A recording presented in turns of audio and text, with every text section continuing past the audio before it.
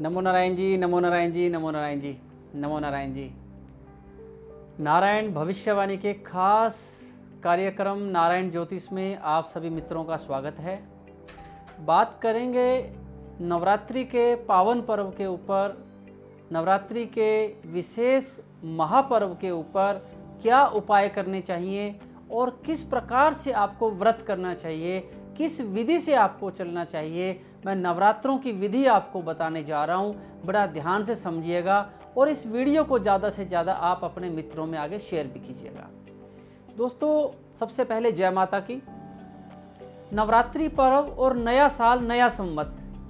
जैसे आप समझते हैं कि नया साल आप एक जनवरी को मनाते हैं हर साल इसी प्रकार से जैसे कि अगर आप हिंदुज़म से संबंध रखते हैं, हिंदू भाई बंधु हैं तो आप होली मनाते हैं क्योंकि आप बोलते हैं कि मैं हिंदू हूँ। आप दीपावली मनाते हैं, आप बड़े बड़े त्यौहार मनाते हैं, बसंत पंचमी मनाते हैं क्योंकि आप बोलते हैं कि मैं हिंदू हूँ। इसी प्रकार से हिंदू नववर्ष जो है, वो चैत्र नवरात्रे के प्रथम नवरात्रे के दिन नया सम्मत शुरू होता है, यानी कि नया साल शुरू होता है।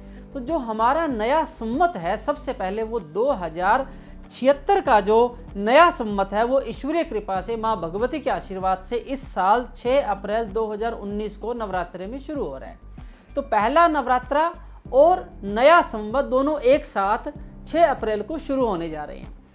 दोनों में विशेष बात यह है कि इस बार पाँच सर्वार्थ सिद्धि योग है पूरे नौ दिन के अंदर, पूरे नवरात्रि के और इस बार कुछ खास बात और भी है। नवरात्रि में जो घट स्थापना है, कलश की स्थापना का जो मुहूर्त, जो विशेष रहता है, मैं आपको वो भी बताऊँगा।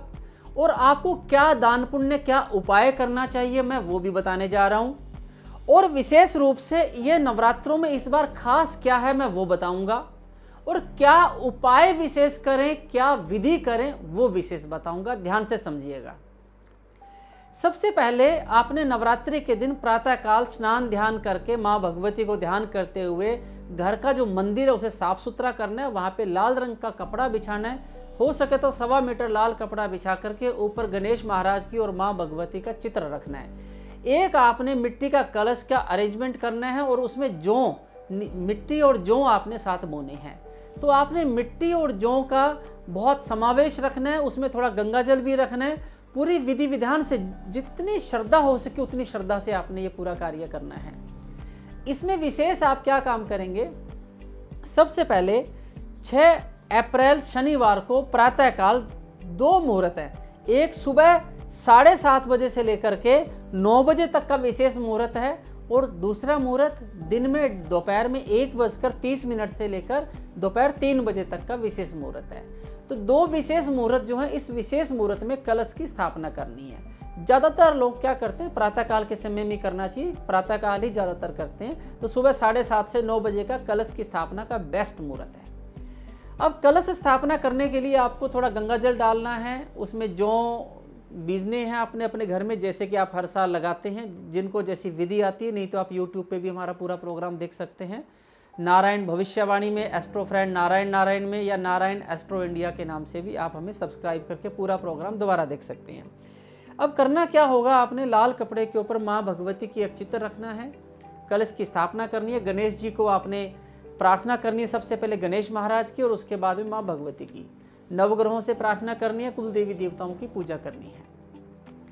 जितनी विधि आप कर सकते हैं, उतनी कर लीजिए। ज़्यादा विधि नहीं आती तो जय माता दी, जय माता दी बोलते जाइए, सारे काम ठीक होते जाएँगे। माँ भगवती के आशीर्वाद से कोई वहम करने की ज़रूरत नहीं है। हो सके तो नौ दिन तक अखंड ज्योति का इंतज़ाम कीजिएगा। अखंड ज्योत जलाएँगे तो बहुत सौभाग्य देता है, बहुत सफलता मिलती है, बहुत अच्छी बात है। और किसी कारणवश यदि आप अखंड ज्योति नहीं जला पाते तो आप सुबह और शाम एक एक दो दो घंटे वाली ज्योत ज़रूर ज़रूर ज़रूर जलाइएगा पूरे नौ दिन तक नवरात्र में अगर आप व्रत करते हैं, बहुत व्रत की कई सारी विधि हैं। एक है पूरा जल पे रहना, कुछ भी नहीं खाना। दूसरा है आप जल के साथ में आप फल खा सकते हैं, दूध ले सकते हैं। तीसरा होता है कि आप एक समय भोजन कर सकते हैं और और भी बहुत सारी अलग अलग विधि से रखे जा सकते हैं, जैसी जिनकी श्रद्धा होती है। व्रत के दौरान नॉन नॉनवेज ड्रिंक अंडा, मांसाहारी किसी भी वस्तु का प्रयोग करना शास्त्रों में वर्जित है। आपके घर में, रसोई में भी अगर ऐसा सामान है तो आप बिल्कुल आज ही उसे निकाल दीजिएगा। नवरात्रि के अंदर आपने व्रत करने हैं, व्रत के साथ साथ में अगर आप व्रत नहीं कर सकते तो आप दो व्रत ज़रूर कीजिएगा, पहला और दूसरा। या फिर कुछ लोग क्या करते हैं, पहला और आठवां व्रत कर लेते हैं, नौवें दिन भोग डाल देते हैं। तो इस प्रकार से अलग अलग विधि से आप श्रद्धा भगवती से, श्रद्धा प्यार से आप माँ भगवती दुर्गा जी की नौ दिन तक पूजा करेंगे। अलग अलग रूप में भी पूजा होती है, वो भी हम आपको बताएँगे। लेकिन अभी ज़्यादा चक्कर में ना पड़ के आप सिंपल सीधे सीधे रूप से जाएँगे तो माँ भगवती का कल आपने खेती बीजनी है मतलब जवारे जो बीजने हैं जोत जलानी है, कल इसकी स्थापना सुबह साढ़े सात से नौ बजे के बीच में करनी है और घर में स्नान ध्यान करके माँ भगवती का गुणगान करना है प्रातःकाल के समय में। ये आपने विधि अपनानी अब ये इस नवरात्रि में खास बात क्या है? ये रेवती नक्षत्र में शुरू हो रहे हैं। रेवती नक्षत्र में शुरू होना अपने आप में खास बात है। दूसरी बात, पाँच सर्वार्थ सिद्धि योग है। इन नवरात्रों में मकान की नींव रखनी है। आपने कोई बच्चे का विवाह शादी करनी है, कोई नया कारोबार शुरू करना है नया कुछ आपने बच्चे का एडमिशन करवाना है, नए कपड़े बनवाने हैं, या कोई मकान की रजिस्ट्री करवानी है, नई घर की नींव रखनी है, नया बिज़नेस शुरू करना है, कोई हेल्थ रिलेटेड नया आपने कोई ट्रीटमेंट स्टार्ट करना है, कुछ भी नई प्लानिंग है। कोई आपने विदेश जाने से संबंधित नई फ़ाइल वीज़ा फ़ाइल लगानी है, नई पीआर के लिए कोई अप्लाई करना है कोई फॉरेन कंट्री में इन्वेस्टमेंट करनी है, कोई आपने नई अपनी हेल्थ इंश्योरेंस पॉलिसी लेनी है, कोई म्यूचुअल फंड्स लेने हैं, या कोई आपने नई पार्टनरशिप करनी है, या आपने कोई लॉटरी का टिकट प्लान करना है, या आपने कोई माता पिता के नाम पे कुछ करवाना है, या गिफ्ट देना है, या लेना है, या संतान संबंधी कोई विशेष कार्य करना है, वो सारे कार्य आप इन खास नवरात्रि में कर सकते हैं। क्योंकि इनमें पाँच सर्वार्थ सिद्धि योग मुहूर्त हैं और दो रवि योग बनते हैं। रवि योग अपने आप में खास हैं और सर्वार्थ सिद्धि योग का अर्थ बता दूँ, जिसमें सब कार्यों की सिद्धि हो। कोई भी ऐसा कार्य जिसमें आप, सभी कार्यों में आपको जिसमें सफलता मिलती हो, ऐसे कार्य किए जा सके। वो सर्वार्थ सिद्धि योग कहलाते हैं। दूसरी बात मित्रों, नवरात्रि के अंदर इस बार अष्टमी और नवमी दो जो जो तिथियाँ हैं, वो एक ही दिन इकट्ठी रहेंगी। यानी कि जो नवमी तिथि है, वो अष्टमी वाले दिन प्रातःकाल शुरू हो जाएगी। लगभग इसका समय रहेगा प्रातःकाल, लगभग नौ, साढ़े नौ बजे का लगभग समय रहेगा, क्योंकि अष्टमी वाले दिन ही नवमी का भोग डलना है। तो नवरात्रि का जो भोग डलेगा, यानी कि जो अंतिम नवरात्रा रहेगा, वो 14 अप्रैल को मनाया जाएगा। और उस दिन राम नवमी मनाई जाती है और पुख्य नक्षत्र रहेगा और भगवान राम का जो जन्म है, वो भी पुख्य नक्षत्र के अनुसार दोपहर अपराहन काल के समय में मनाया जाता है। तो आपने नवरात्रि के नौ के नौ दिन आपने विधि विधान से पूजा करनी है, श्रद्धा रखनी है। जिनकी शादी नहीं हो रही, जिनके शादी में विलंब हो रहा है, वो इन नवरात्रि में व्रत ज़रूर करें, माँ भगवती से आराधना करें। आप अगर व्रत नहीं कर सकते तो आपने एक नारियल रोज लेना है और अपने विवाह की मनोकामना बोल के माँ दुर्गा जी के मंदिर में रोज चढ़ा के आना है। किसी कारणवश अगर लेडीज़ हैं, आप, आपका आप मंदिर में नहीं जा सकते, अशुद्ध अवस्था के कारण पीरियड्स के कारण, किसी और अशुद्धता के कारण तो आपका माता पिता या भाई बंधु कोई भी परिवार का, मित्र सखा आपके नाम का नारियल चढ़ा के आ सकता है।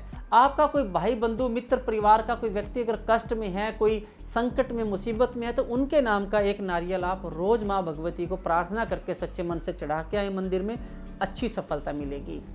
आप एजुकेशन की तैयारी कर रहे हैं, कंपटीशन एग्ज़ाम की तैयारी कर रहे हैं, कोई आईएएस ऑफिसर बनने की तैयारी कर रहे हैं जुडिशली के एग्ज़ाम दे रहे हैं, या कोई आपने कोई और कोई कम्पिटिटिव एग्ज़ाम की प्लानिंग कर रखी है तो आप इन दिनों के अंदर माँ भगवती को और माँ सरस्वती जी का रोज़ नमस्कार करना और एक नारियल आपने सच्ची श्रद्धा से माँ भगवती को चढ़ा के आना है। हो सके तो माँ सरस्वती जी के सामने एक पीले रंग का पुष्प रोज नौ दिन तक चढ़ाएँगे तो आपको सफलता मिलने के चांसेस बढ़ जाएँगे एनर्जी लेवल आपका बढ़ जाएगा, सफलता आपकी बढ़ जाएगी। इन दिनों में ग्रह भी बहुत सारे चेंज हो रहे हैं और जो बात रही पाप ग्रहों की, बुरे ग्रहों की, माँ दुर्गा जी शक्ति हैं। शक्ति की पूजा करने से सभी ग्रह शांत होते हैं। माँ दुर्गा जी की पूजा करने से पूरे ब्रह्मांड में जितने भी देवी देवता हैं, यक्ष, राक्षस, ब्रह्म राक्षस, वेताल, कुष्मांड, देवी, देवता असंख्य असंख्य शक्तियाँ जितनी भी हैं, सब देवी के अधीन आती हैं। तो जो देवी की पूजा करता है, नौ दिन तक, सारे संसार की सारी शक्तियाँ उस इंसान से प्रसन्न रहती हैं और उसे आशीर्वाद देती हैं। तो मित्रों, इस प्रकार से आपने नौ दिन तक रोज देसी घी की जोत जलानी है, रोज नारियल चढ़ाना है, माँ भगवती को लाल रंग के पुष्प चढ़ाने हैं। स्टूडेंट है, एजुकेशन ले रहे हैं, कंपटीशन की तैयारी कर रहे हैं या शादी विवाह चाहते हैं तो पीले रंग के पुष्प माँ भगवती को रोज चढ़ाएँ और एजुकेशन वाले व्यक्ति सरस्वती जी को रोज पीले पुष्प चढ़ाएँ। अगर आपका व्यापार बंद पड़ा है, व्यापार में बहुत ज़्यादा नुकसान हो रहा है या व्यापार में कंपटीशन की वजह से बहुत प्रॉब्लम आ रही है तो रोज़ाना गणेश जी को दूध का भोग लगाना है और घर के अंदर रोज़ गणेश जी की आपने आरती करनी है नौ दिन तक। पहले गणेश जी की करनी है, उसके बाद माँ भगवती की करनी है।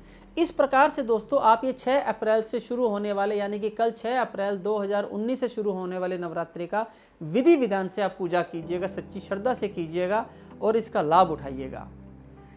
मैं आपका मित्र डॉक्टर नारायण आचार्य चंडीगढ़ से दोस्तों। आप मेरा YouTube channel Narayan astro India और दूसरा हमारा टीवी चैनल है एस्ट्रो फ्रेंड नारायण नारायण के नाम से आप मुझे सब्सक्राइब ज़रूर कीजिएगा ताकि आपको रोज़ आपको नए नए वीडियोस नए नए प्रोग्राम आपको देखने को मिल सके। फेसबुक पे भी आप मुझे नारायण एस्ट्रो इंडिया और नारायण भविष्यवाणी के नाम से आप मुझे फॉलो कर सकते हैं। डॉक्टर नारायण आचार्य को मित्रों आज्ञा दीजिए। और आप अगर मुझसे पर्सनली मिलना चाहते हैं हॉरोस्कोप से रिलेटेड डिस्कशन करना चाहते हैं बिज़नेस रिलेटेड अगर आप गाइडलाइन लेना चाहते हैं या कोई भी ज्योतिषीय सलाह लेना चाहते हैं तो आप मुझे चंडीगढ़ सेक्टर 33 में आकर के पर्सनली अपॉइंटमेंट टीवी स्क्रीन पे जो नंबर आ रहे हैं, इन पर आप नंबर लेकर के आप मुझे कॉन्टैक्ट कर सकते हैं। आज्ञा दीजिए, नमो नारायण जी, नमो नारायण जी, नमो नारायण।